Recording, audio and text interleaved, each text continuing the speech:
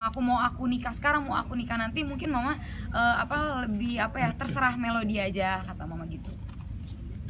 Nggak yang dipaksa kamu nikah sekarang gitu dulu nih rencana nikah muda jadi kayak dulu wah kayaknya aku nikah umur 23 deh gitu kan eh pas 23 masih di JKT kan nggak mungkin Cuma siapa tahu kan abis nikah Melody ngomong Iya nih siapa tahu nikah siapa tahu langsung pada daftar gitu ya amin. kan? Doain ya. Bikin pengumuman langsung daftar langsung ngantri gitu Amin. kan Oh, udah siap pokoknya nanti buka hati deh hari pertama ya